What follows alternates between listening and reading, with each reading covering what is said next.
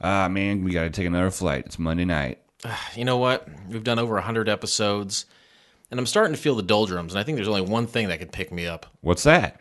a beer, but not just any beer, a beer from a place that's not around here. Craftbeerclub.com. That's the place where I get beers that aren't from the where I live. Exactly. They're going to ship you 12 bottles of beer every month. Damn right they are. Four different kinds. Two from one brewery, two from another brewery. Right. All right. So four times three Seven, is 12. 11, 12. A 12. whole, a whole case of beer. I was going to say 12. So There's 12 pack. Is that a case? it's a it's a full case. Full case. Bring it right to your doorstep.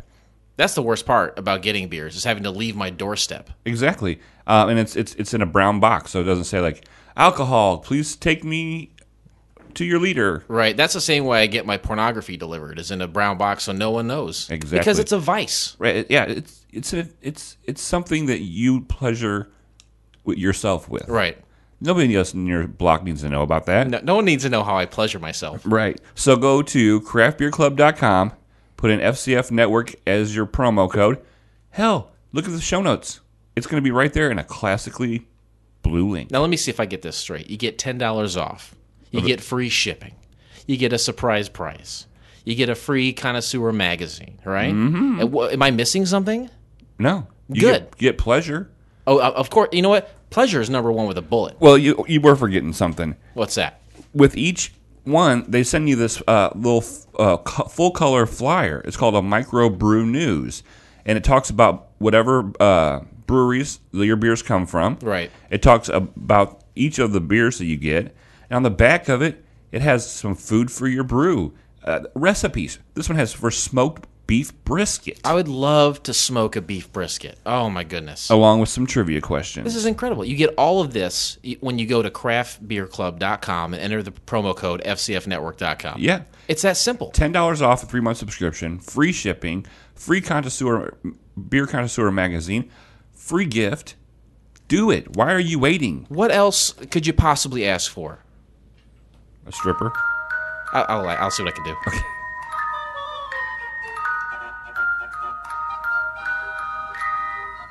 Fakakta Comedy Funhouse Network.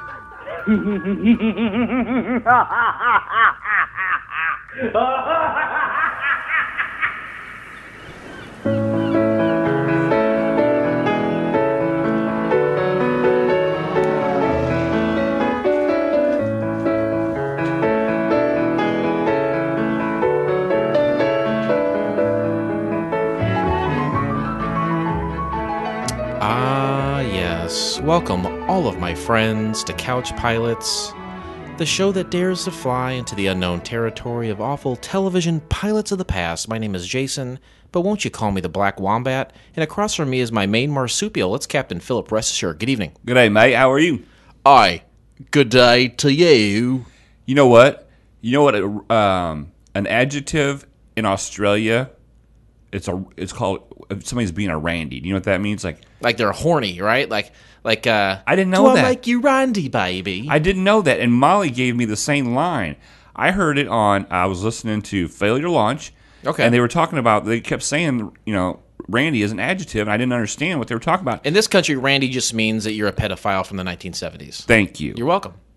And so I got a hold of our Australian connoisseur. Go to the source. Yeah.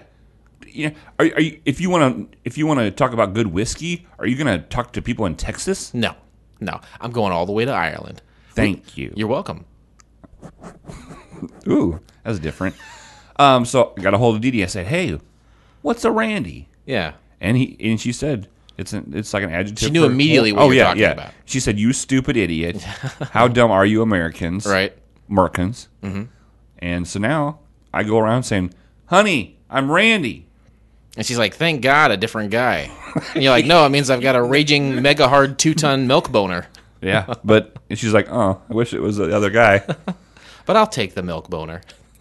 It's good to see you. Are you ready to take a flight? I'm so ready. Um, I just, I did all my morning stretches. Um, I'm eating nothing. I'm on a hard boiled egg diet right now. Oh, because after Thanksgiving, you're trying to lose some of that Thanksgiving weight. Yep, and then um, you always wear white after Thanksgiving, unlike Labor Day. So I'm just I'm always I'm eating white, I'm wearing white, Um, I'm waiting for the white to drop from the sky, that beautiful, fluffy, powdery snow. Oh, don't talk about that yet. We're we're not ready. The our plow Mm-hmm. is not. Uh, DSJ still doesn't have it up and running for the winter. You know what happened last year is he didn't mix the oil with the gas. He just put straight oil in it. and then he left it all all summer long, and it, it got it evaporated. That's right. And now we got a real plow problem. Again, how do you know all these things my wife says to me? My wife. I got a real plow problem with you, Blake. But uh but something uh Thanks for laughing at the fact that I have plow problems. I don't I okay. You're welcome. Uh but you know, it's it's it's easy to sit here and think about all the things that are wrong. But sometimes we just gotta we gotta get out, we gotta leave our problems at our doorstep, and we gotta go to a party. And last night we went to a party. Oh boy, did we we went ever. to the Tazewell County Pilots Gala. Yep. Um, huge event. The JCs put it on. It was great in the Rotary Club. This, this is the only time of the year that the JCs and the Rotary Club get together to work on something. Otherwise, they're bitter rivals. Right. This is where they put they drop their colors for the night, Yep. and they go in in neutral colors. Yeah, they'll drop Like their orange. colors and their gun. Uh, yeah, they, they mix their colors together to make orange. They got the you got the yellow, right? You got And the yellow red. JCs and the red Rotary Club. red rotary. Red. Ooh. Red, Red- rotary. Red rotary. Red rotary. Come over, red rotary. Send the good. JCs right over, right? And then they yeah A violent game. they put That's a violent game. Red Rover yeah Yeah, you would think that there would be tons of broken arms, dislocated elbows, because you used to have to hold hands and then say that, and they had to Yeah. bust through. You know, so uh, a kindergarten rolls around. I'm a, a child, and um, I go there, and there's a, a, a lady there, and by a lady I mean another five year old, and she has one hand, and, she, and the, the the one hand is, is she's got like a plastic thing on it, and like a like a hook, a metal hook that can open and shut, and um, that girl always had to be at the end of the Red Rover line, because I mean. She could she could use the hook to like Sure. hold hands with someone else, but if you ran into that hook, oh, Oh. my god, you're gonna be gut like a fish. Uh, well, last night's event, um, me and the stewardess Molly, we, we went together. Um, we took the we took the limo, and when I, we were waiting for you to show up, and we thought you would have a day, but you went stag to this this gala. I'm a stag man. I'm a stag man. Bam, bam. I'm a stag man. If the stag man can do it, so can you. I'm the stag man. So you were in, you're all dolled up in your tuxedo, Oh, right? is that how you pronounce it? Yeah. I've been saying tuxedo for like 20 years. No, it's tuxedo. Oh my god, I feel like an idiot. Just All say right. mosquito. tuxedo, Mosquito. mosquito. Mosquito. I see. I, have never said mosquito right either. Mosquito. Mosquito? Mojito. Oh, mojito.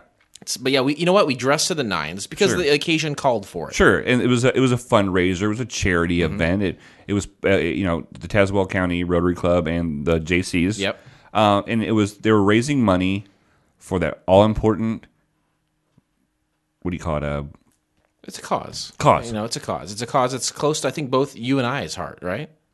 oh yeah, definitely. What is that? It, uh, kids with cleft palates who can't pronounce tuxedo. And it say Pretzels. and they say pretzels too. And I and I think um, I think that the money we raise is going to help a lot of kids. Oh, it's going to go straight, right? You know, from our hand to their mouth. to God's ears, right? Right. Do you think God has ears? I would think so, I like to picture God as just one big ear. with with like three or four hairs sticking out of it. Yeah. A little bit of wax To show his age. a little bit of wax buildup. Yeah. Um, we danced the night away. Uh, Mm-hmm. there was there was one of those photo booths set up, and there was some goofy pictures Yep. taken. And um, I was looking on Facebook last night, and there's a picture of you kissing my wife. Um, My no, I- wife. I thought it was you. Well, it was dark in there, It was dark, and she was wearing a tuxedo, right? and uh, you guys smell She's like gender neutral.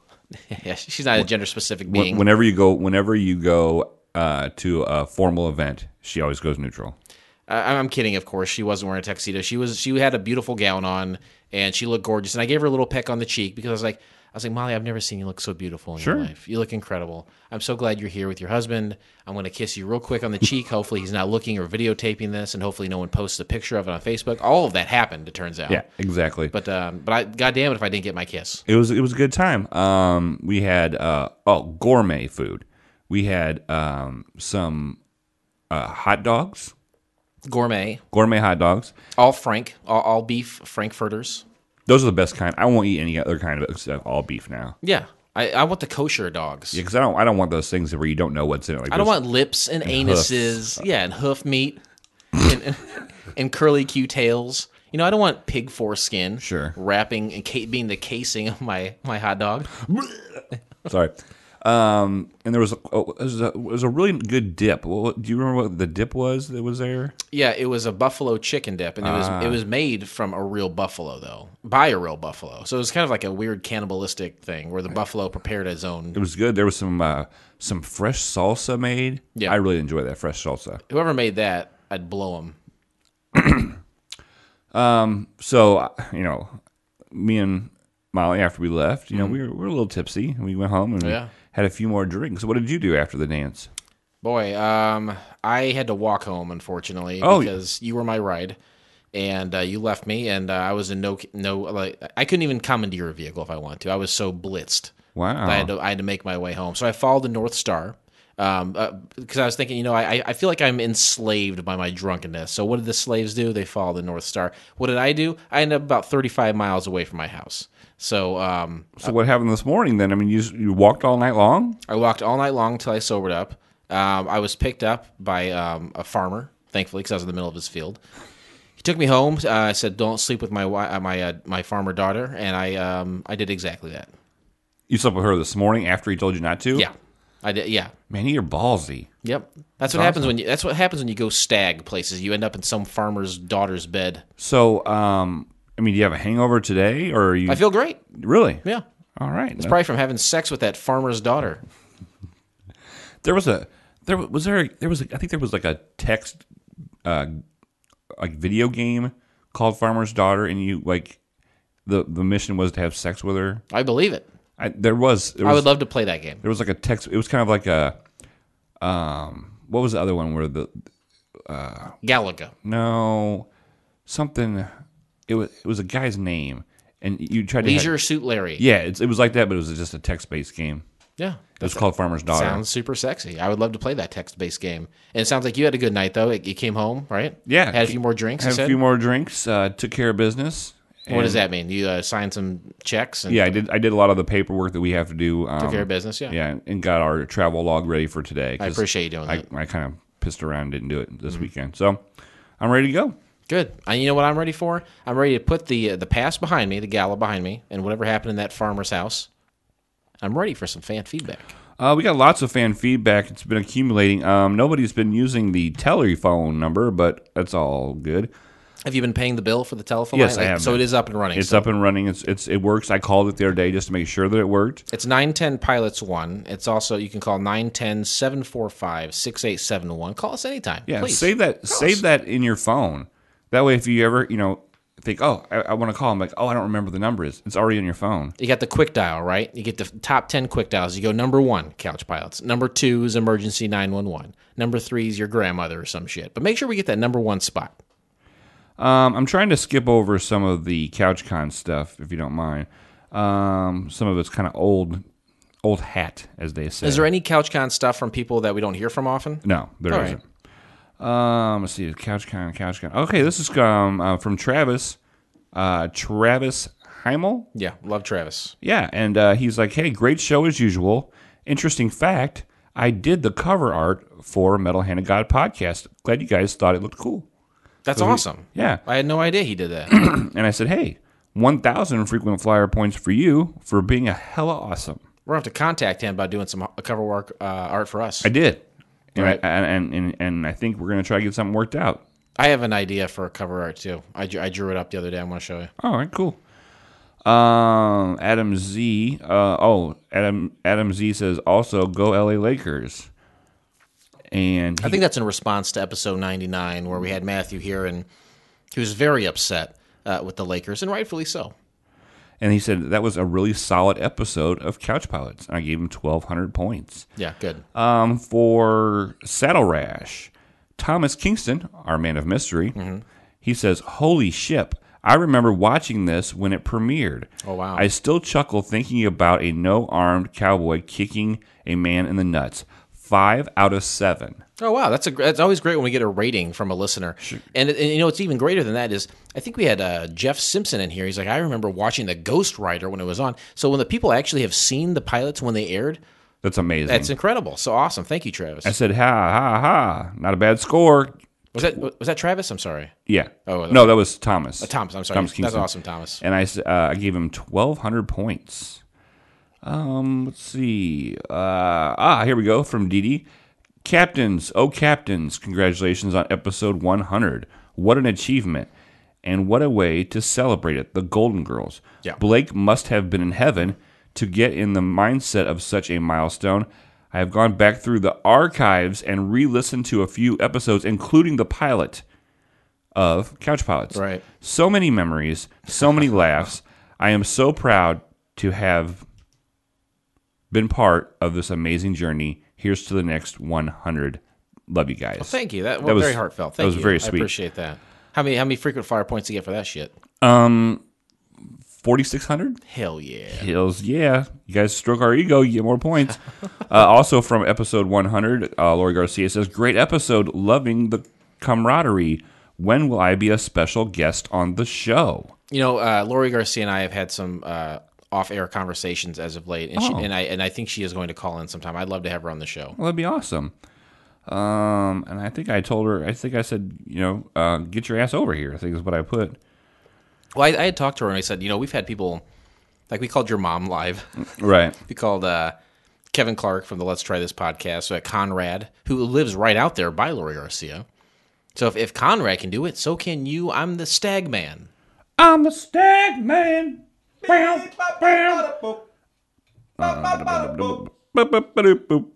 All right, here we go. Uh, again, great episode. Loving the camaraderie. Oh, I, I read that part. I said, oh, yeah, I said, it's up to you. Are you going to fly here soon? And she put, couch pilots, I wanna. I thought you'd fly down here and pick my ass up. And then Dee Dee says, make sure Jason keeps his pants on and his robe tied. and I said, after CouchCon 2017, we are not allowed in the Sacramento airport. We we cannot go there anymore. No, we, we failed to mention that earlier, but we yeah we're not we're not invited back to the Golden State as it is. And then Dee says, that's what happens when you have an overabundance of link sausages. We uh, they're so juicy. All right. They were they were the juiciest. Um, Couch Pilots, uh, Lori Garcia says, Couch Pilots' new rule for Jason: hands must be visible at all times. Boy, they're really letting me have it here. Mm-hmm. Um, yeah. Well, that's fine. And I'll save some more. I, we we've got a few more. Um, I'm a, I'm a sexual pariah. Pariah. Ba-da-ba-ba-bum. Oh, also, uh, Dee Dee sent us a picture of, uh, I believe it's Buttercup, and that is her what she drives all day at, at work. Okay, very cool. It doesn't even have a. I told her I was like, that's bullshit. It doesn't even have like a roof on it. If it rains, she's uh, Well, uh, Australia's hot, right? Am I correct in that it's a hot ass place? yes, it's the hot. It's, It's it's the hottest place on earth. Oh, jeez, poor, yeah. poor gal. Yeah. So thanks for the fan feedback. Again, uh, you can email us, find us on Facebook, Twitter, uh, Inst- Insta- Instagram, Instagram. and then call us. We can always call us. We love to hear. 910 Pilots 1. Call us anytime of day. Leave us a message. You know we're going to talk about it. And most importantly, you're going to get frequent flyer points. And that's what you want, right? That's what you want. That's what you want, baby. That's what you want, baby.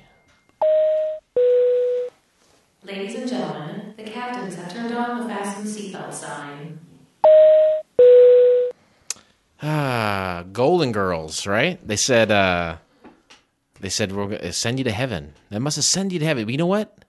Now I'm going to send you to hell. what? because today we discussed the pilot episode of Tales of Frankenstein from the year of our Lord 1958. Woo! Great year. I, I can't. I can't. I honestly can't tell you if it was a great year or not. I, I, I was not around. Um, the fifties were great. I mean, you had um, things like war, Chubby Checker, baseball. Uh, a different one. Shit, what else was back then? I don't know. I was Uh, I was negative seventeen. Dennis the Menace, probably. Oh yeah, uh, Mr. Ed. Yeah, they stuck a carrot up his asshole to make his mouth move. I thought they put peanut butter in his mouth. What is That's more appropriate. yeah. I- I think the PETA would be less mad about that than sticking a carrot up a horse's asshole. Uh, PETA was just an Australia guy trying to say the word Peter back in 1958. Um, I forgot to tell you what this show is about for people who don't Oh, listen. sorry. No, it was my fault. I wanted to get to the heaven and hell thing because I thought about it earlier. It's good. Um, they say you can only count on two things in life death and taxes and failed television pilots. Well, smart guy, that's three things, and I will never die. So figure that out. It's couch pilots. We're never gonna die. I can't imagine a scenario where I don't exist. Yeah. the world revolves around us. Yeah. We are everyone else is just a player in our play, right? The world is is revolving on the shell of a turtle who is sitting on top of a shell on a turtle, and there's turtles all the way down. In the theater of life, you and I are the co-stars. Mm-hmm. You know what? And I don't mind being on the bottom of the call sheet just as long as I can be in it. You're on, hey, buddy. As far as I'm concerned, you're number two. You know what? As far as I'm concerned, you're number two. Oh boy, 1958. Boy, oh boy. We talked about it recently. Going back in time. Just you know, not physically, because you fuck something up, it's it's gonna have repercussions. Butterfly But, but wouldn't you, wouldn't you yeah. like to be there, just to kind of just kind of look around, and say, hey, that's not there where I when I'm from. That's not there now. Right? that wasn't there. If, if you if you go back there and you buy someone a Coke, Mm-hmm. there could be ramifications to that. yeah. You know, because they put cocaine, like pure cocaine, in it back in the fifties. Back in the 1950s, uh, Coca-Cola was about 50% pure uncut Colombia cocaine. Nice. I guess it was nice. I, I would love to find out. High I don't five know. that shit. Nice. This show is built in the back Oh of my his back God. burbs. Tooth came out. But 1958, I know that I wasn't there and I didn't experience it firsthand, but that's not going to stop me from going there in, my mind. We have to go back in time because that's the only way to view this pilot and properly process it. Because if we watched it by today's standards, It sucked. it would blow It would it would be horrible. We have we have CGI, Courteney Cox, color.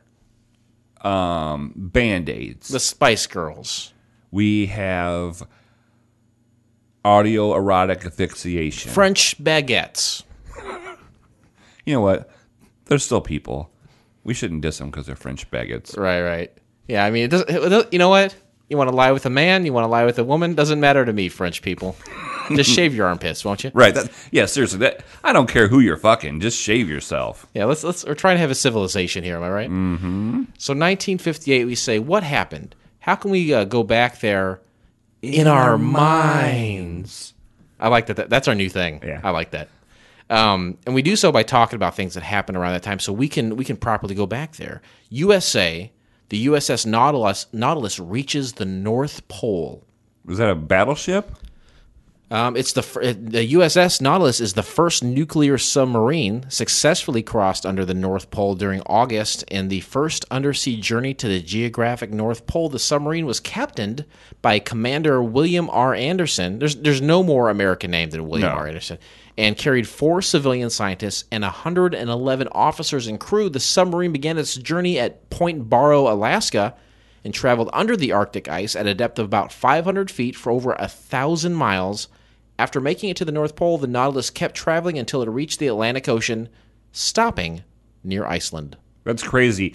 And I know I watched something not too long ago where they were talking about all the the uh, experiments and all the the the stuff they're doing up there regarding to submarines, and that the Russians are coming in there and doing their own testing. Present day, present day, the Russians are in there doing their own stuff, and like they could easily like like they have scientists living there too, and all, and they have submarines in there, and um, it's it's kind of like neutral. It's neutral water. Nobody it's no man's land, right? Right. Anyone can go there. and so like Russia has like put a flag up and is like, and they're they're learning a way to cut you know cut the travel time. They're gonna they're gonna come after us from Alaska. Who owns that fucking shit? Is that is that Canada's territory? Or is it is literally no one owns Coca Cola?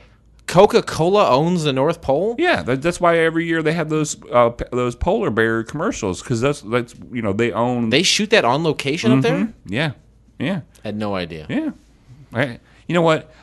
You can't be the only one teaching people. I have to teach people What I in a while, don't know could fill a book, my friend. All right, A, a very huge book with small font. small font, like Gone with the Wind size book. yeah, It's a good point of Why do you laugh? It's a, it's a, it's a book. It- it- I believe it's a book. I just ha- I have no idea what that book looks like. It's that thick. That's pretty thick, my friend. Thank now, you. Now, we'll talk about the book. Uh, North Pole. Now, is that where Santa Claus lives, or is at the South Pole? Um, I think it's the North Pole, right? yeah, it's the North Pole. So I'm wondering if the Russians are like have or he's under the Russians' command now. Are they on the hunt for Santa Claus? They're on the hunt for Red October. What's on the South Pole then? Is that Krampus? Hmm, Could be. That sounds like a, a you know a woman in her in her. Is the. South Pole hot, or is it cold too? What? Well, the, Or is it the tippy tippy top and the tippy tippy bottom cold? no, no, no. The North Pole is the coldest place on Earth, Right. And the Almost- South Pole is the hottest place on Earth. Oh, That's how it works. so maybe we should we should take a flight to South Pole. I don't want to go to where I'm going to burn up. Well, we'll just go till it gets too hot, and then we'll land. And like, okay, that's that's the That's as close as we can get. right. Turn right back around. Smart stuff. Uh, also, 1958 comes around. They say we're gonna have the Brussels World Fair, World's Fair, I've never been to a World's Fair. also known as uh, Expo 58. It takes place in uh, Brussels, Belgium. Uh, the Bru- uh, the World Fair, also known as Expo 58, uh, begins in April of Belgium, or uh, uh, begins during April in Belgium. I'm sorry, I've had a little It's okay. little bit of the hair of the dog that bit me. Um, this was the first major World's Fair to be organized after the end of World War II, with the previous World's Fair taking place in New York during 1939 and 1940. New York City. Get a rope.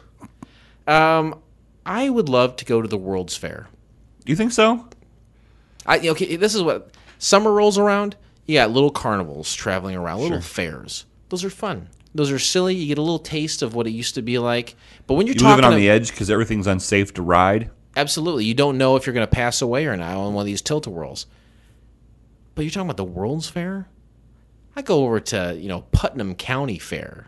That's one thing. But I'm talking about the world, baby. The world. What do they have rides there and stuff? Or is it They, they would used to build structures specifically for the events. really? Yeah. This When was the last time we had a World's Fair? a long time ago. Because we don't all get along anymore. That's right. Back then, it was a completely peaceful society. After we uh, vanquished all evil then in the form of the Nazis, 1958 rolls around and say everyone's at peace. Yeah. Let's just have a fair that everyone can go to. Let's try to get back there. yeah. The World's Fair saw over 41 million visitors before it concluded in October. That goes for a long time. Then it's not just like a weekend. No, no, it's a while. And they said the the uh, main attraction was an unusually shaped at Atomium building. So they build they build structures and buildings specifically for this event. That's crazy. I would love to go. I don't live in a time where that's possible. No. That's why we go back there. In our minds.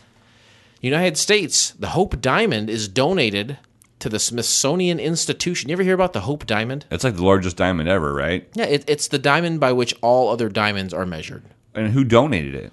Um, jeweler Harry Winston donates the Hope Diamond to the Smithsonian in, no, in November of that year. The legendary 45.2.52 carat blue hued diamond's history can be traced back to the mid 1600s when it was likely purchased from a mine in India and sold to King Louis XIV of France. So there's some little kids in India that got their hands chopped off probably and died to get that. Yeah, I would. Yeah, absolutely. Um, yeah, I'm, I'm against diamonds. I've told Molly that from the first time I met her. I'm against diamonds. Now, is it one of those things where it's like diamonds are so expensive, but you want to come up with like a fake moral stance against them so you don't have to spend all the money? exactly. All right, I'm with you, buddy. I'm for that reason. I'm against them too.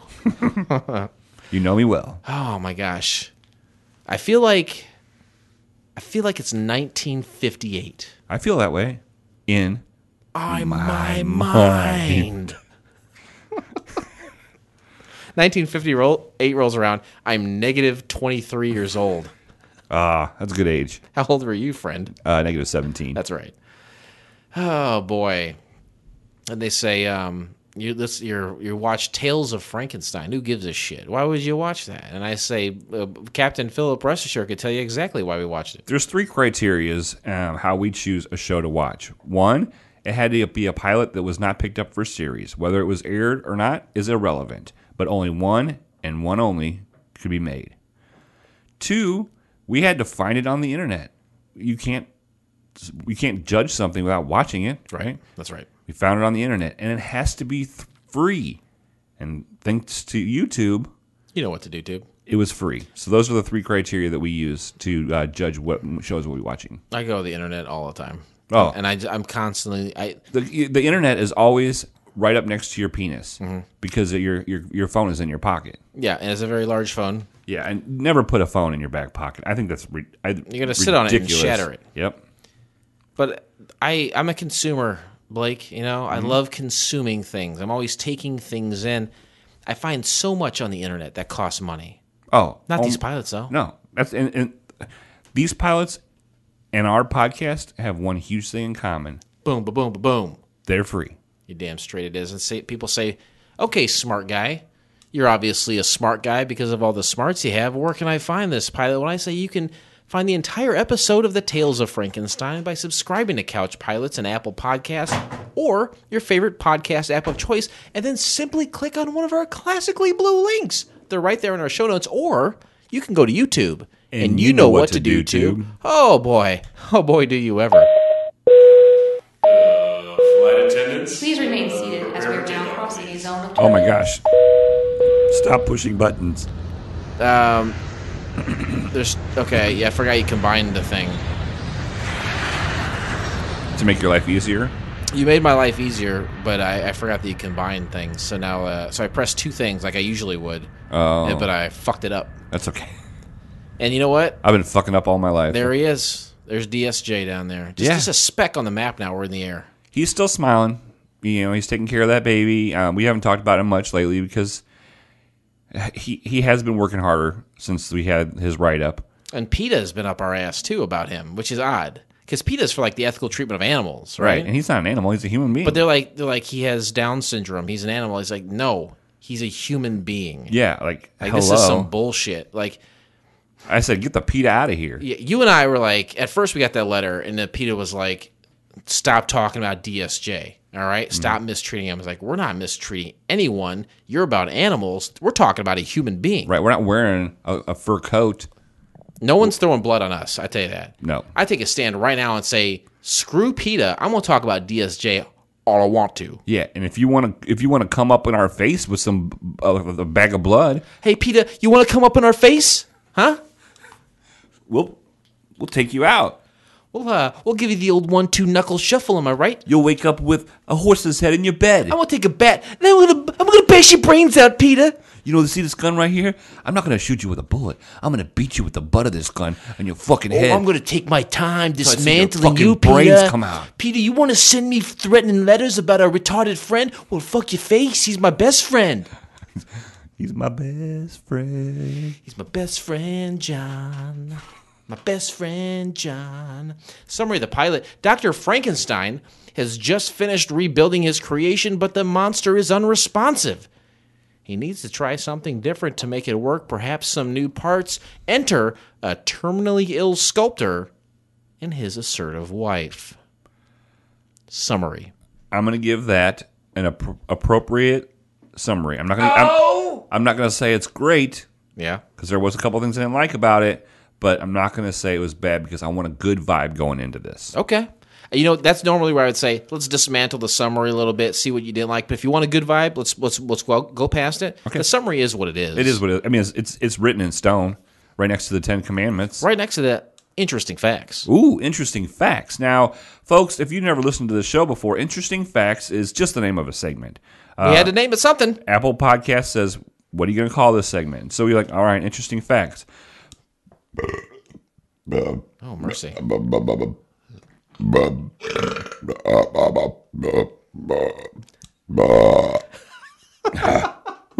And what does that translate to? That translates to don't tell anybody whether you think these facts are interesting or not. Absorb them. Consider yourself smarter for knowing them. Consider yourself Smarter. smarter. Consider yourself part of the frequent flyer program. All right, anyway. Uh, yeah, so don't tell anybody that you think these are interesting facts. Don't, you know, tell your boyfriend, your girlfriend, your mom, your dad, your co-pilot. Here's the thing. If I asked you if you loved all the people you just named, you'd say, yeah, absolutely, I love those people. Well, if you love them, let them decide on their own how they feel about these facts. Thank you. Oh, you're welcome. So that's what we're going to. We're going to name them. You're going to keep your mouth shut and you're going to accept them. These are things you wouldn't know if I didn't look into it and scour as hard as You I did. scoured so hard you get bloody knuckles. The episode title, which does not appear on screen, is The Face in the Tombstone Mirror. Fact. That's, it's a fact. Can I say something? Yeah, w- yeah. You know with you know with which in the parameters you're allowed to say the thing you want to say. Okay. I believe I saw the the title for this during this pilot. Was it like hidden, like like an Easter egg? It was on the bottom of the screen. okay, Not the whole time. It was just okay. Hmm. I might I might have to go back and double fact check that fact. okay. Oh, Whoops. This Hold show's on. built on. This show is built on the back of his back burps. Jameson Irish whiskey cask mates. That'll do it to you apparently. Thanks, Mute Jacob.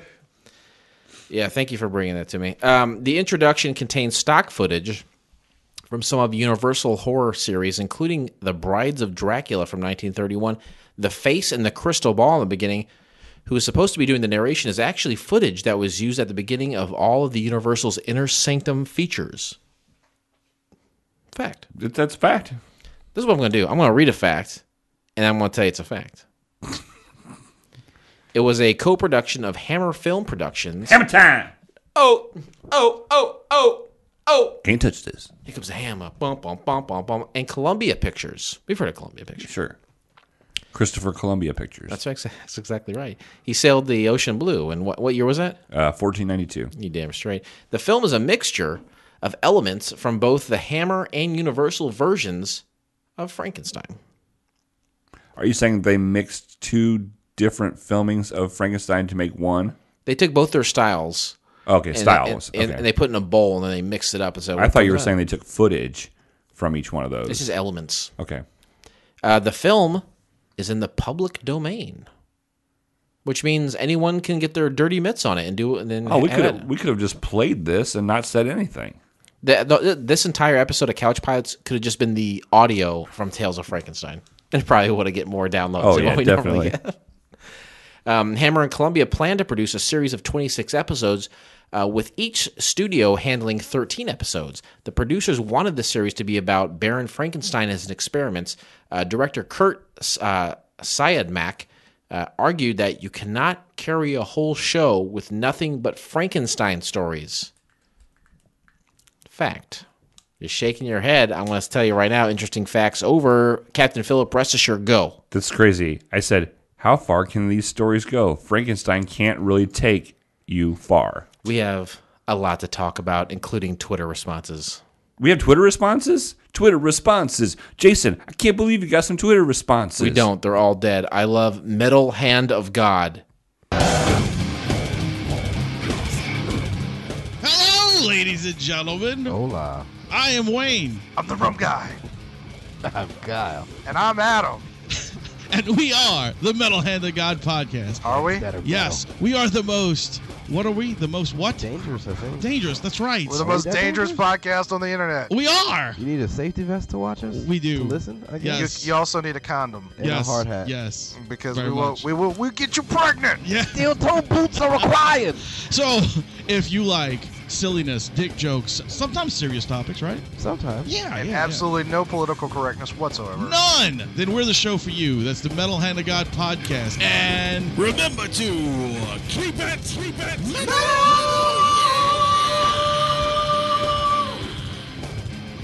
Great show.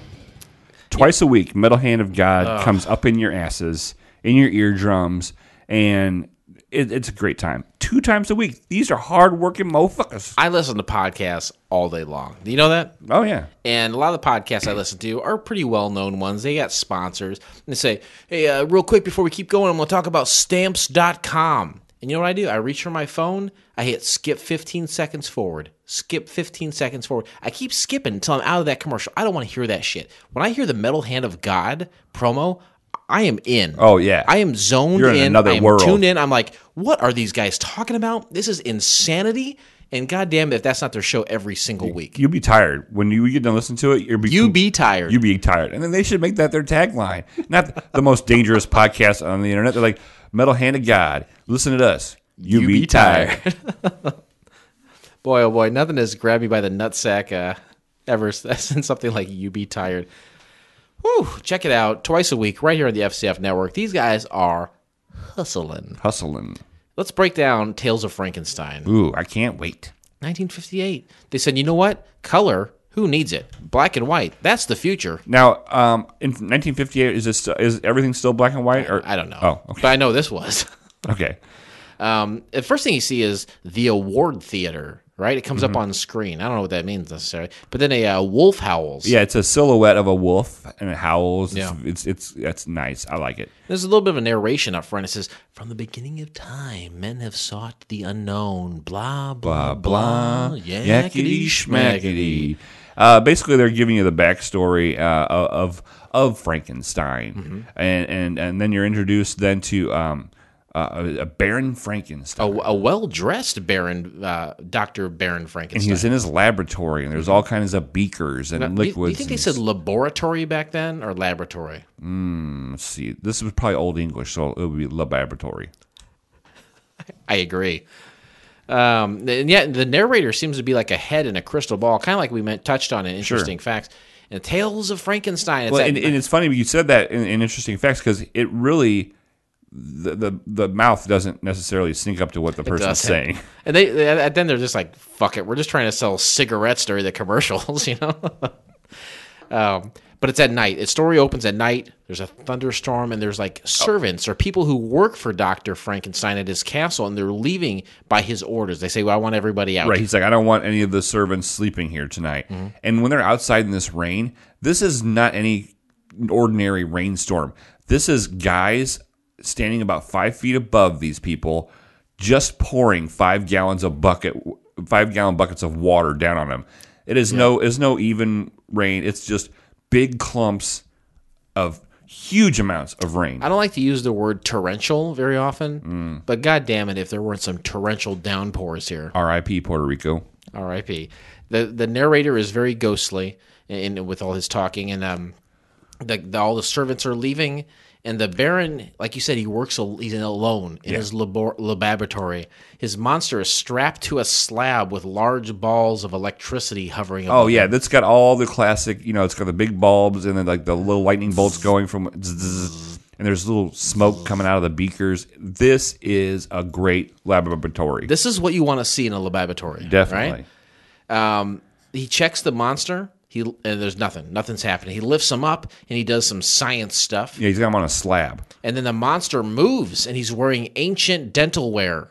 Ancient, ancient dental wear. He's got a bunch of like hardware on his Oh. head. It looks like a, something a dentist would give you in the year of our Lord. Yeah, he, he, he like starts to breathe. You see him breathing, and then he realizes, you know, like, and, and then uh, the Baron's like, "Oh fuck, this is this I is did gonna- it. This is gonna work." I did the thing. He- and then he basically uh, just rips out of the restraints that he's in, and he approaches the good doctor. Yeah, right? and then the doctor's like, "Oh fuck, this is not near as cool now." He picked up something. It was like a, a, a syringe. He had like a syringe or something in Oh, his I hand. missed that. Yeah, he had like a syringe in his hand. Like I guess he was gonna like stab him with a, uh, a EpiPen. the uh, the the uh, Frankenstein's monster was bitten by a bee or stung by a bee, bitten by a bee. you know, they always say like they always say it's Frankenstein. No, no, no. Frankenstein is the scientist. The, this is just the Frankenstein's monster. or the yeah, or the monster, whatever you want to call. it. And he's um, so he approaches him and he puts his hand around his neck. oh, it starts squeezing. And he's like, he's normally gonna I like that guy. stuff. You're into that? Oh yeah, a little bit. So usually the ladies like to be choked, but Oh. you're, you're into choking, huh? Oh, oh, is that how it's supposed to go? I've been doing it No, wrong. it's however you want it to be. oh, okay. The, so he's he's got his hands around his neck and he's like like as he's coming at him, he's pushing him backwards and he accidentally knocks him to a switch. And whatever that switch does, it hurts the monster. Yeah, it's thankfully. like electrocutes him, Yeah. and he falls down. And He's like, "Whew, jeez." He's like, "Wait a minute." yeah. I put a murderer's brain in him, and that's why he instinctively wanted to kill me, Instead, I need the brain of a good, intelligent man. like Jason or Blake. Well, I don't know about intelligent for me, but maybe for you, perhaps. So at the next scene, you, you go to a, A good bar- man brain. He said, "I need a good man brain." a man brain. Good, no, good man brain. good man brain. They go to a. The next scene is, is at a bar slash inn, and a couple arrives, and it's a man and a woman, and they need a room. Right, and we come to find out that's Paul and Christina Hel- Helbert. Hel- Hel- Halpert or something. Halpert. Halpert. And they and the man uh, when they sit down at a table. They say, "We need a room." He's like, "Yeah, give me a few minutes." And they're sitting at a table, and the man appears to be ill, and they're there. And he doesn't have a license for it either. Usually, they request a license to become ill. Not in this. Not in this time. The year this was released The in '58. 50s. That's a different time for a swinging party in the 50s. They're, they're looking for help. That's what they're looking for. And they say, um, while they're talking at this table, they say the name Frankenstein, and then the, the entire inn like hushes up. It's like someone like scratched a record. Right. and it, it's, it, they said, you know, we need the help of uh, Baron Frankenstein. And everybody stopped. And there is like cut to shots of numerous people. There's probably seven different cuts of people just looking shocked The name of Baron, Dr. Baron Frankenstein by any other name.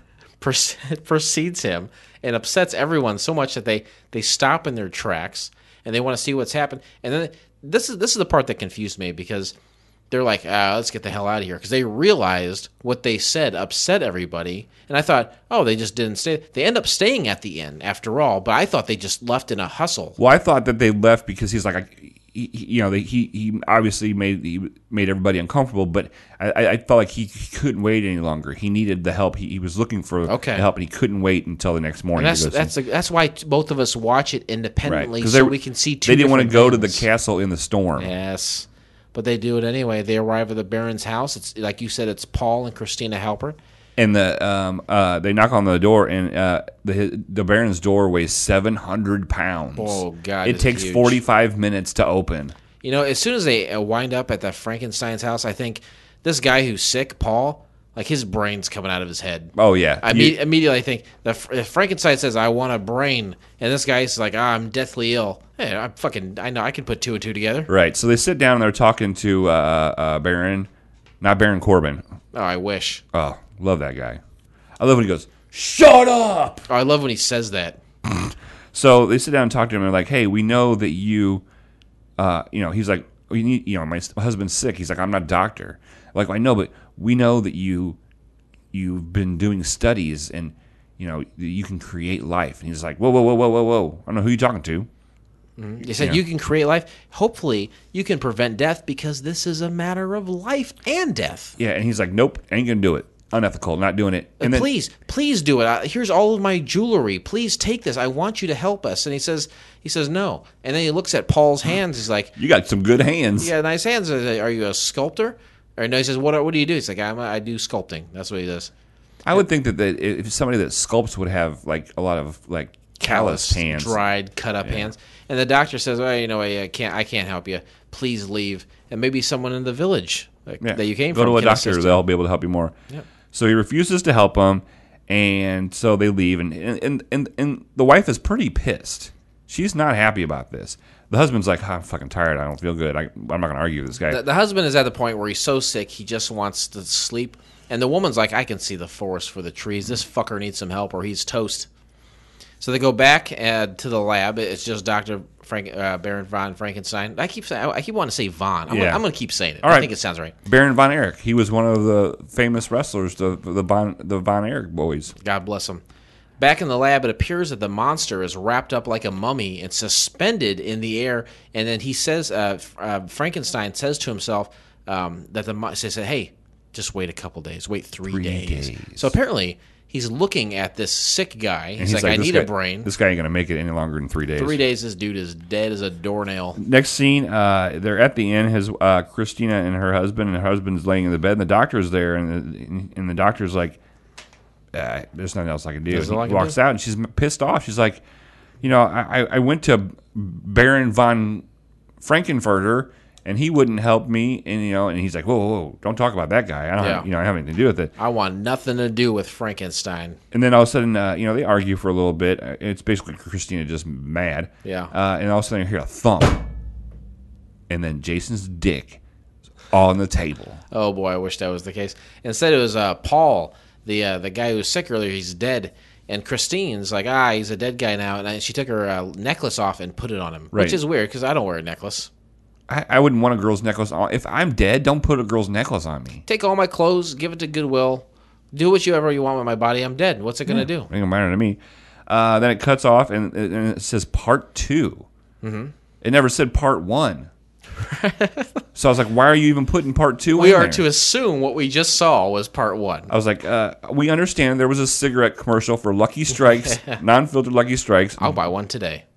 Uh, they're, uh, the scene is they're at the at the funeral of Paul, and um, you know, because they're all dressed in black, and the priest is saying, "Oh man, lay lay, lay thy thee rest, young gentleman." Uh, and in the background, in basically one of these tombs, like old big Victorian tombs, but like had like a tunnel in them. Yeah. Uh, yeah, Baron's just hanging out in the, in the shadows. He's, he's like He's rubbing the- his hands together like this is the shit I've been waiting for. We got a fresh dead brain. So they uh, they all leave, and um, uh, Baron walks up to the Undertaker, the wrestler, the famous wrestler, the Undertaker, And everyone yelled old school. and he's like, "Hey, don't bury this today. Wait until the morning." And the guy's like, "I don't want to lose my job," Yeah. just like that, I feel like he's here with me right now. right? And he hands him some coins, some gold niblets, He Hands him a bunch of gold niblets. and, and then all, all of a sudden, the Undertaker's like, ah, "I'm, I'm fine, you know, as, Yeah. long, as long as my brother Kane doesn't come." Sorry. That's fine.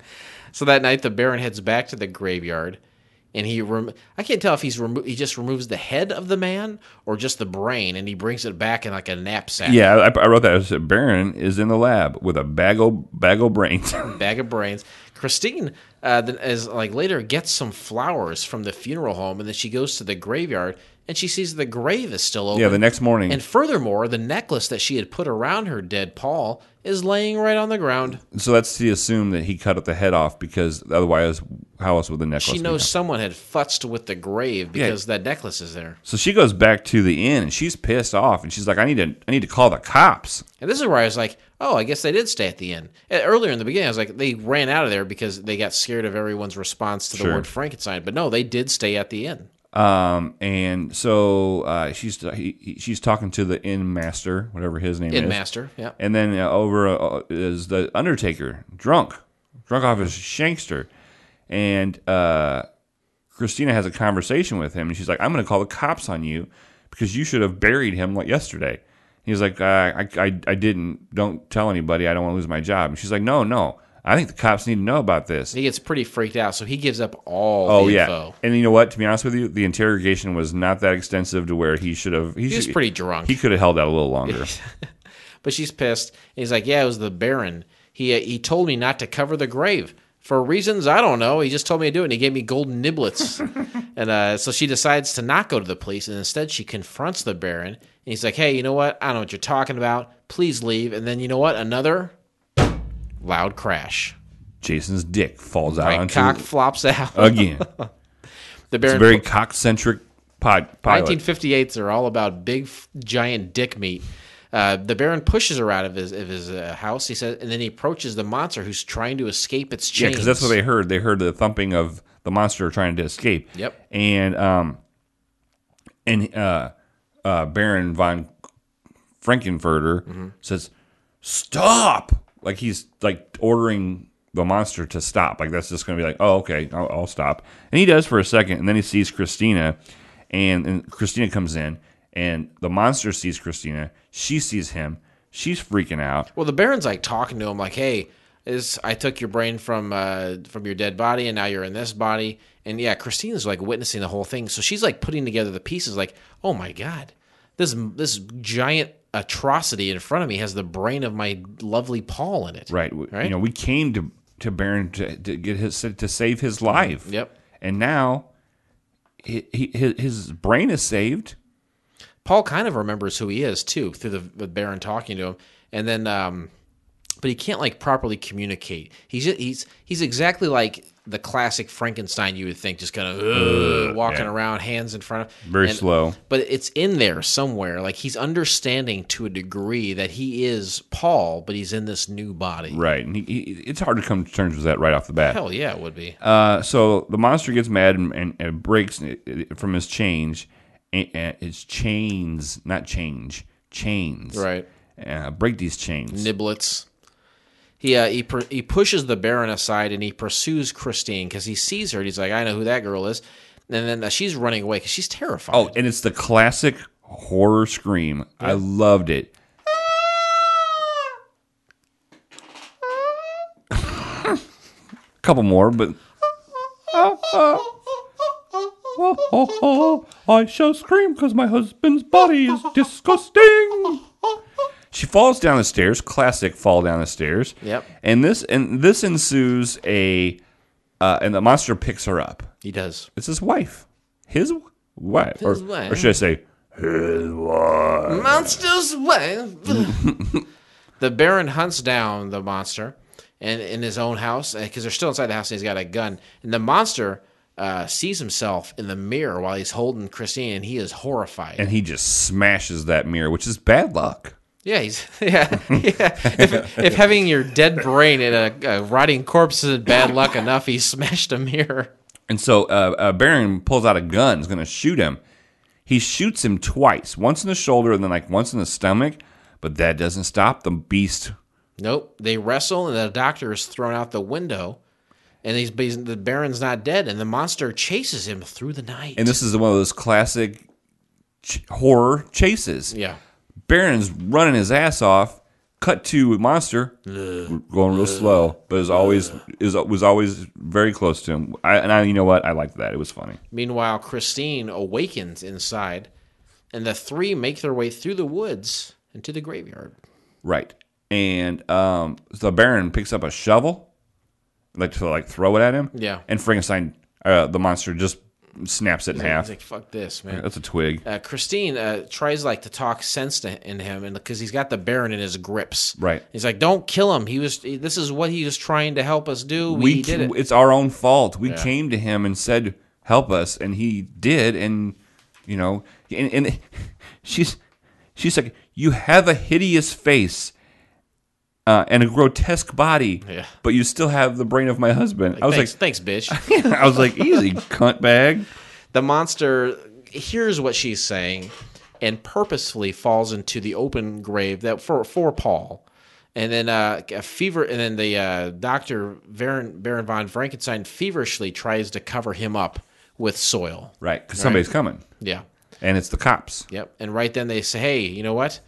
You can't be robbing graves. You're under arrest." And at the end, of Frankenstein says, "There's always tomorrow." And what I don't understand is, is how he got out of it. Like, to me, he was like, the cop's like, uh, you're under arrest. And he's like, wait a minute. I'm Baron von Frankenfurter. Yeah, It- it- there, there was no real, there was no real, like, he, he gave this little speech where he did say that, you know, there's always tomorrow, but there was never, like, the cop never said, okay, I'm not going to arrest you. Or, you're going, you're going in the slammer.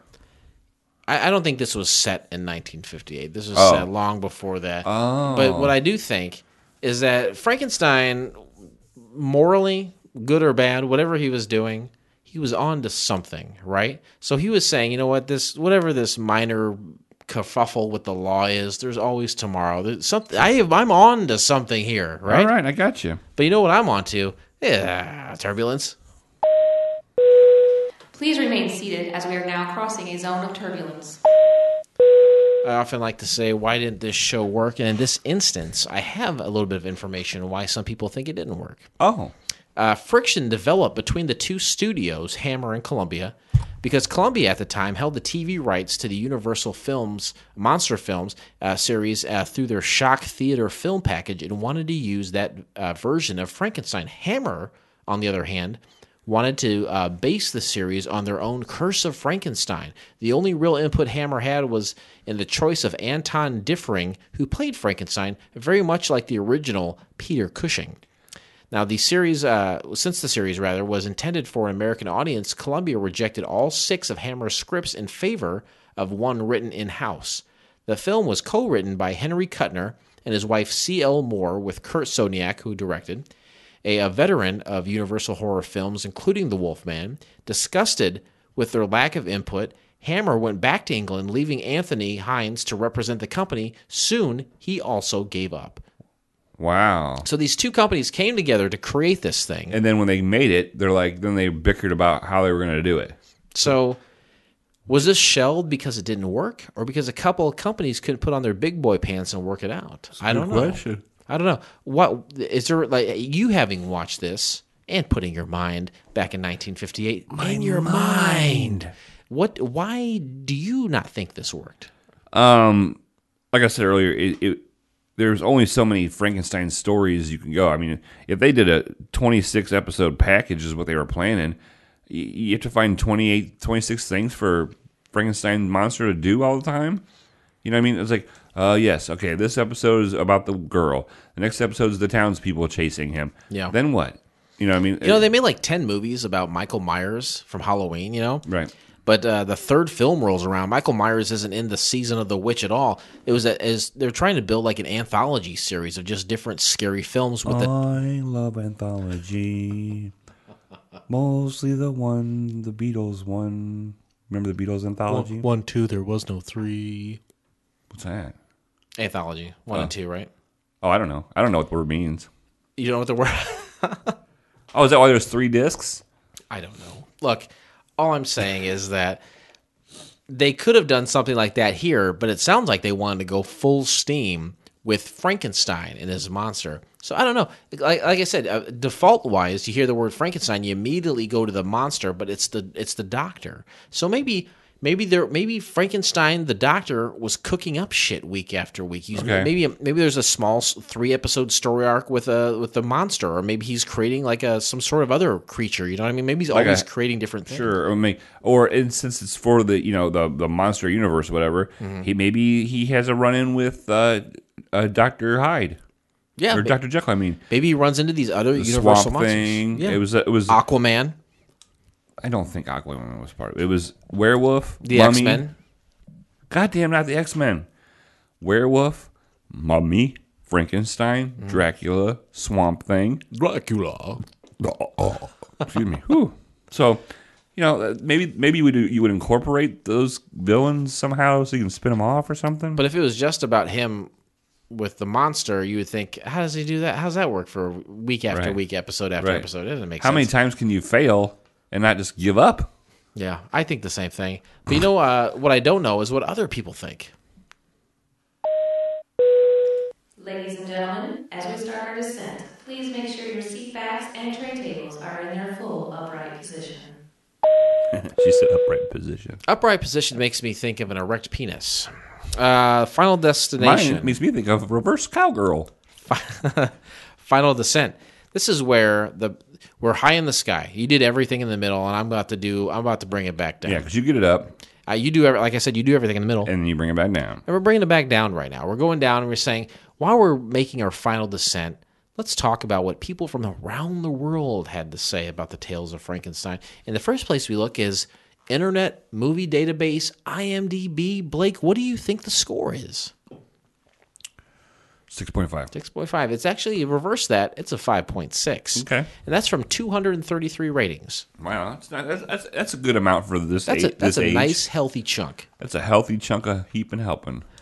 Viewer reviews. Failed television pilot makes for a decent short film. 6 out of 10 scars. This is from Gavin6942 from the US of A. Uh, this one crossed my desk through a box set. I'm not sure, uh, though easily available how easily available it is, but if you get a chance, check it out. Why is he? Why is he watching movies on his or TV shows at his desk? I don't know. I don't know. To me, I would say go to your sit on a living room. couch. Get in your lazy boy recliner. I'd love to have a lazy boy. Put your feet up. It's only 27 minutes long, so you hardly be wasting time uh, on this better than average attempt at a good horror story. Tales from the Crypt has done worse. You ever watch that shit? I never watched it. Tales from the Crypt is dumb. The only reason you watch Tales of the Crypt is because the you're old skeleton guy. no, you watch it because you're 12 years old and you want to see some nipples. Oh, I lived in a time before internet pornography, and I can tell you the best ways to masturbate. give me the top three. Um, you got uh, HBO free weekend, right? Right. On the very uh, real chance it is not a free weekend, it's the squiggly lines on HBO before the fuzz. You can see the squiggly lines like, hey, I think I see some dude going down on a broad, right? Um, Sears catalog rolls around. Boom. Hey, hey, uh, hey, Jason, why are some pages of my Sears catalog missing? I don't know. I'm masturbating. I don't know, mom. Those are the top reasons or ways to do it. Rather, um, an untold tale of Frankenstein. Now, this is from Wes Connors from L.A. If this indeed the pilot for an unsold television series, uh, it's difficult to understand how they were going to come up with the nearly forty per season story ideas. I agree. Um, as a short movie, writer slash director Curt Siodmak, uh, which we had mentioned a few times, and I've never pronounced his name correctly, does uh, surprisingly well in this format, creating a new story to work within the existing Frankenstein mythos, and it's much better than average 1958 half hour teleplay. Okay. Um, if you like Hammer horror, 8 out of 10 scars. This is from Winner 55 from the United States. This one's high marks as a point of historical origin and thus very important. A well done B movie horror short in any event. Okay. Short and sweet. Failed TV pilot, but surprisingly good 7 out of 10 scars from R.C. Sloan 5 from US. Well worth picking up as this is part of many different public domain horror collections. I picked this up in Mill Creek's 250 movie horror collection, and this has been one of the big highlights. The quality of this print was very good, with clear audio and a nice picture. I would have to say that that is correct. When when you told me it was from 1958, I was very worried. You did one of these. Did you hear the shiver? Yeah, I did. Classic horror, 9 out of 10 scars. Author Jacob John Taylor 1 uh, from Barry's Bay, Ontario, Canada. Uh, Canada, Canada. I love Canada. Hey, Ca- in hey, in Canada. Hey, when it's in the middle of summer and it's hot outside, a little Canada. Slice up some Canadoos. Life up some Canadoos. Do not think that just because something is old, it cannot be scary. This is scarier than most new horror movies. It has a great storyline, great acting, and great special effects. If you like scary movies, then you need to see this. A lot of positive Sure. reviews. Uh, it's rocking a f- 5.6, which is not great. It's not terrible, I guess. But it's also a lot of people grading it based off of 2017 and not going back Yeah. in their minds. mind. speaking of grading, Ladies and gentlemen, welcome to FCF Airport. Local time is 11:11 and the temperature is 69 degrees. For your safety and comfort, please remain seated with your seatbelt fastened until the captains turn off the fasten seatbelt sign. We're landing this bitch. this is why people tune in. They say, Ooh, Tales of Frankenstein. I don't want to hear the banter. I don't want to hear the interesting facts. I don't want my brain, brain to go back to 958. Right. What I want is a number associated with the pilot. I want to know what you think. One to seven. That's the scale taken from the popular show from the 19 ad 90s called Wings. Number one is a Roy Biggins. That's a character on the show. There's a bunch of other characters. It goes all the way up to number seven. That's Brian Hackett. Therein lies the score. Sure. Therein lies what you think. That's the bed. What I think. That's the bed that we're laying in. This is the bedrock of couch pilots. Between one and seven is the bed we're laying Yabba dabba do, Captain Philip, rest assured I turn to you, rhymes on purpose. How do you rate Tales of Frankenstein? I'm going to give you a little info. Okay. Mm-hmm. I wish that you would. I'm going to tell you a couple of things I liked about this. Oh, good. All right. This is the format to do it. First of all, it wasn't cheesy like most of the 50s shows we watched. The acting wasn't cheesy and, and over dramatic. Uh, the story was great. The flow was good. I really enjoyed the flow. It was dark, like not dark like scary dark, but just you know Dark in its tone. right. Uh, the moral dilemma of Frankenstein. Baron's. Uh, I love the classic scream and the classic classic chase. Through the woods there at the end. Yeah. no CGI or special effects. I didn't need it. I'm giving this a six, baby. Holy shit. I loved it. I loved it. I had so much fun watching this. I got to agree. This is really good. Um, this is old. This is a 60, 70 years old at this point. The quality was good, which which really helped too to keep you in 60 it. years. But yes, the quality is good. You can see very clearly. The audio is good. It's got a good pace. It's got a good pace. There's nothing so outlandish or ridiculous here. It's they totally keep you in it for the full 27. I couldn't believe how fast it was. Oh yeah, It was very good. I was leaning towards a five. I agree with you. I'm going to give this a six as well. This is good. Now, whether or not it would sustain itself as a series, that's another story. I don't think. I don't think so. You know, maybe Right. if you want to do like a six episode thing, but back then they're churning out like this person said in one of the reviews, like 40 fucking episodes a year. That's a ton of shit. sure. On a standalone by itself, this is a six. Going forward as a series, fingers crossed. Good luck to you. That's right? why I didn't give it a seven. I would have given it a seven, but I knew there was no way for it to keep going. This is fantastic. This is really good. I would say check if you have even a remote interest in the horror, the macabre, the monsters, Universal, Frankenstein. Check this out for sure. Or Dracula. Ah, ah, ah. Aw. And with that, we close the book on Tales of Frankenstein, and we will never mention that show again. Ever. But join us next time, won't you please, when we watch the pilot episode of Back to Norm. Here's a little something to wet your whistle a sketch comedy show starring Saturday Night Live alum Norm Macdonald. You can find the entire episode by subscribing to Couch Pilots and Apple Podcasts or your favorite podcast app of choice, and then simply click on one of our classically blue links. They're right there in our show notes, or go to YouTube. And you know what to do, too. What do you think about that? Nice. I, I I really enjoyed this one. It was good. It was it was probably the best one we've seen in a while besides the Golden Girls. I feel good. oh, I feel great. you know, you watch a pilot and you never know what you're going to get. Just like uh, Forrest Gump once said, you never know what you're going to Just get, like right? just like sex with a fat girl. he had diabetes because he had sex and and he had so many fucking chocolates he never knew what he was going to get. And then he had sex with a fat girl. He didn't know what he was going to Right, get. and then she had AIDS, didn't she? and then that girl ended up having AIDS the whole time. So, um, however that turned out for Forrest Gump, God bless you. But I tell you, when I watch a pilot and I don't know what I'm going to get and it turns out to be good, I just feel good. I feel good, and then the first thing I do whenever I feel good, Mm-hmm. Yeah. Is go on that computer. type, type, type, type, type, type, type. Because if I'm feeling good, it's time to spend some money. Yeah. Where do I? Where do you go to spend money? To Well, I know there. I, I know what I like. You know, It- it- what I like, like, like. This show is like, built on the it, back of like, his songs. like. I know what I like. and I think, oh, I like this thing. I like that thing. Well, I'll go to this specific site for this thing or that site for that. That's that's stupid. Pump the brakes. There's one site to go for everything, and I mean literally just about everything. Sure. Amazon.com. Uh, folks, you can go to FCFnetwork.com and there is a uh, Amazon banner.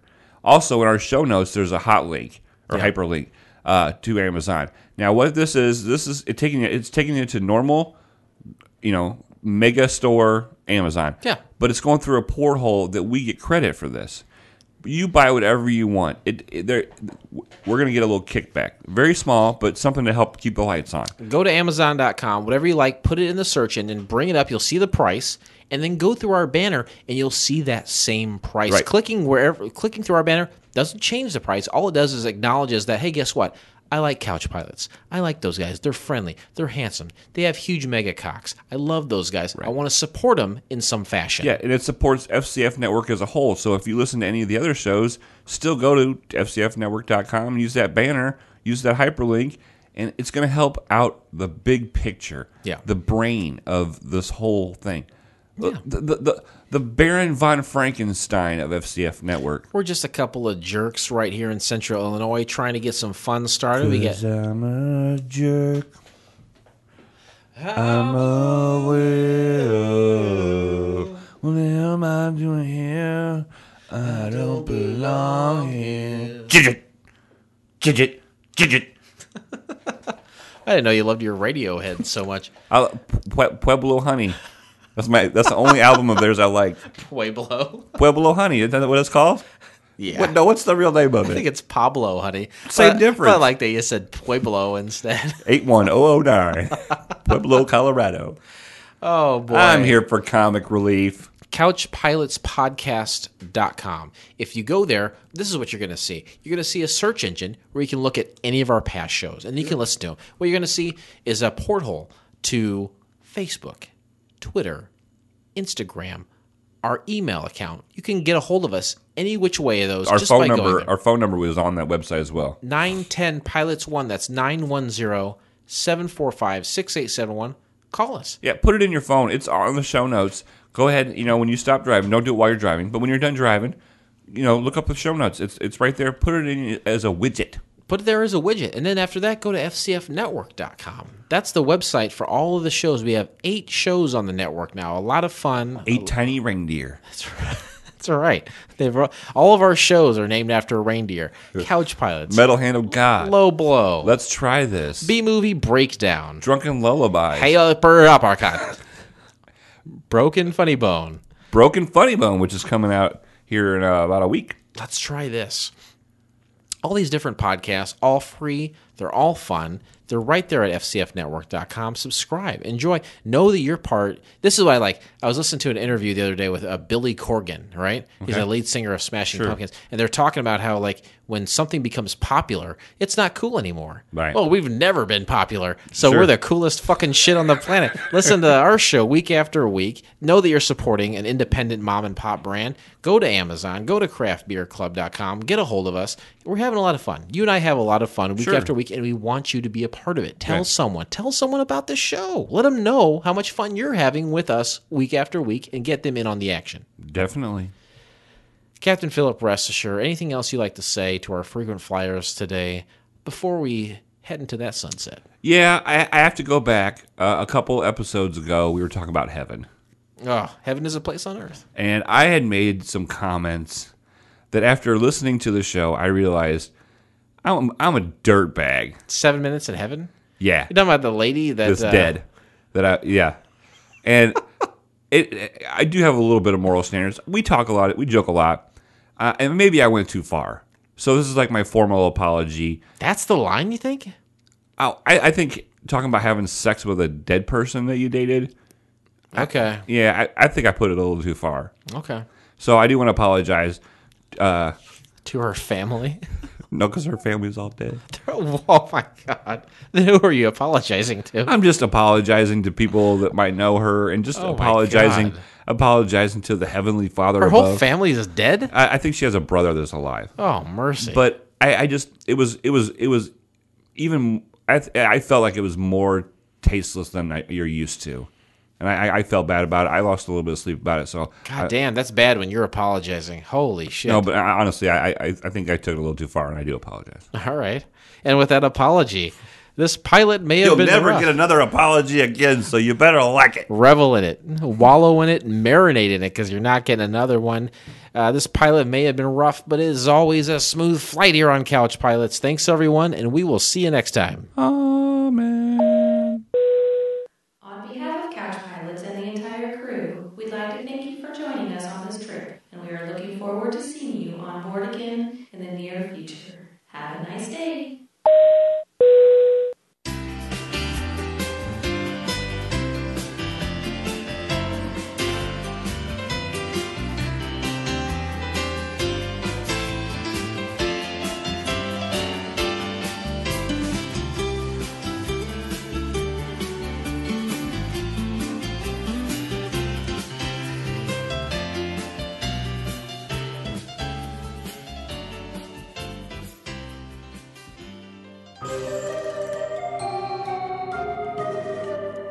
This has been a Fakakta Comedy Funhouse production, produced by Jason Tosher, executive produced by Blake Clayton. For more information and content, go to fcfnetwork.com.